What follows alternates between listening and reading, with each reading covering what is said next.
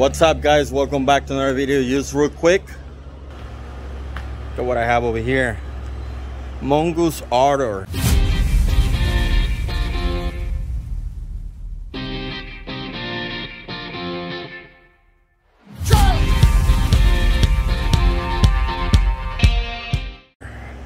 I wasn't able to sell it so this thing is gonna go back to Walmart and whoever takes it next is gonna get a really greased ready to go bike kinda because it's still a few problems with it but it's still under warranty. I did not claim the warranty so whoever gets it is gonna be able to do all that whatever they need to do.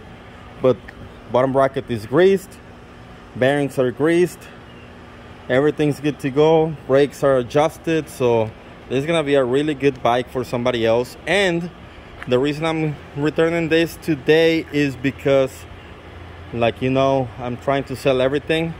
I already sold some parts of the um, Axum.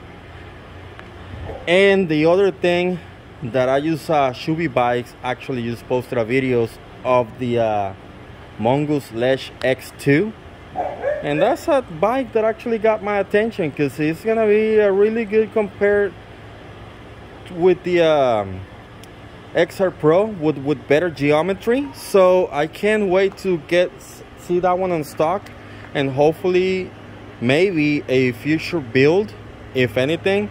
And I'd rather have a 29 over a 27.5 any day. So we'll see about that. But for now, this thing is gonna be going back to Walmart right now.